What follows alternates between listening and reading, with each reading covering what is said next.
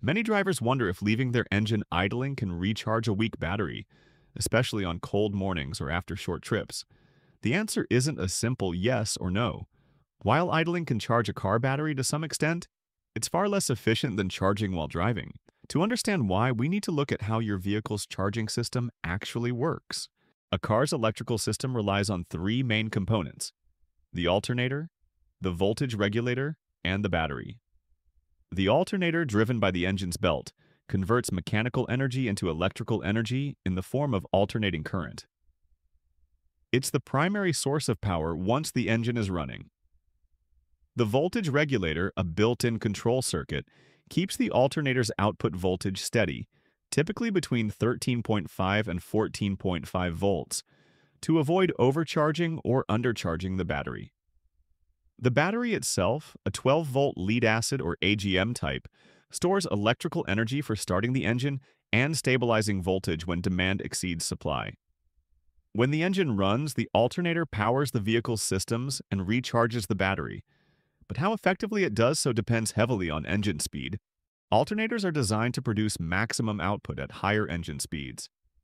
At idle, which is typically 600 to 800 RPM, the alternator produces minimal current, often just enough to maintain voltage between about 13.0 and 13.4 volts, and power basic systems like fuel injection, lights, and infotainment.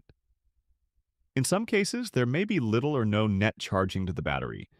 At cruising speeds around 5900 to 2000 RPM or higher, alternator output rises significantly, usually between 13.8 and 14.5 volts, easily powering all accessories and sending surplus current often 20 to 50 amps or more, into the battery.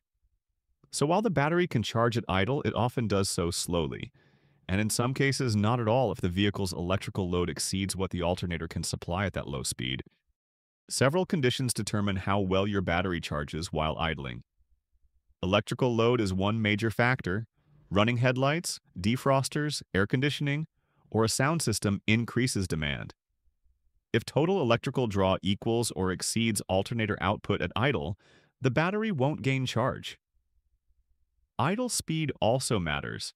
Modern cars with smart alternators and low idle speeds for fuel economy often produce less charging current than older vehicles with higher idle RPMs.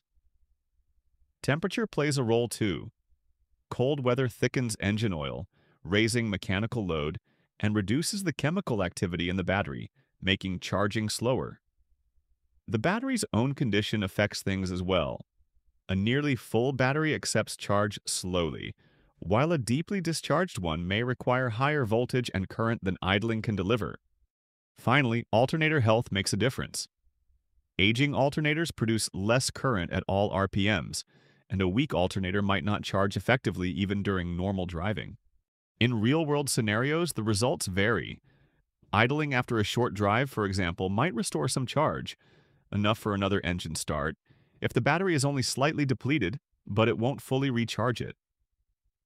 Idling after a cold start in winter will charge the battery very slowly, since most of the alternator's limited output goes toward heating systems, defrosters, and engine management. Modern vehicles with smart charging alternators often reduce alternator output at idle to save fuel, prioritizing charging during deceleration or cruising, which means idling does very little. Older vehicles from before the 2000s, which typically have fixed voltage alternators, maintain moderate output even at idle, so light charging is more likely. Hybrids don't rely on idling at all. They use their high voltage systems to maintain the 12V battery. Electric vehicles use DC-DC converters instead of alternators, so the concept of idling doesn't apply to them. The verdict is that idling does charge your battery, but weakly and inefficiently. At idle, most alternators can maintain or slightly increase battery charge, provided the electrical load is low. However, the rate is slow, often only a few amps of charging current. To fully recharge a low battery, the engine would need to idle for hours, consuming fuel and producing unnecessary emissions. Driving, on the other hand, charges the battery much more effectively because the alternator spins faster and can deliver higher current output. There are several good practices for maintaining a healthy battery. Driving regularly for 20 to 30 minutes at normal speeds is far better than long idling sessions. When idling, limit your electrical load by turning off accessories like the air conditioning, lights, and defrosters if you're trying to recharge the battery. For cars that are infrequently used, a smart battery maintainer or trickle charger is safer and more efficient than idling. It's also wise to check charging voltage with a multimeter.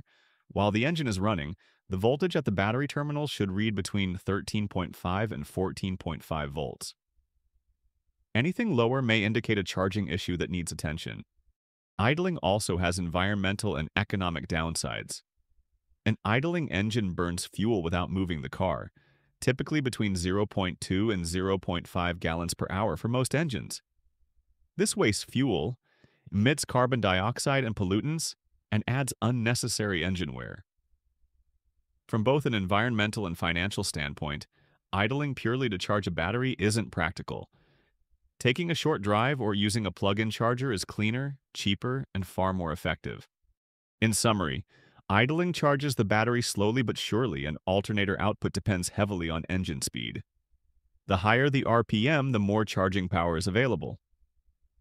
Heavy electrical loads at idle can cancel out any charging gains, and both cold weather and weak batteries reduce efficiency. Driving for 20 to 30 minutes is a far better way to recharge a battery than idling for hours. For weaker stored batteries, a proper charger or maintainer is the best option. Idling wastes fuel and increases emissions, so it's best avoided when possible. In short, idling can maintain or slightly boost your battery's charge, but it's not an effective way to fully recharge it. For real results, take the car for a drive or use a charger. Your battery, your wallet, and the environment will all benefit.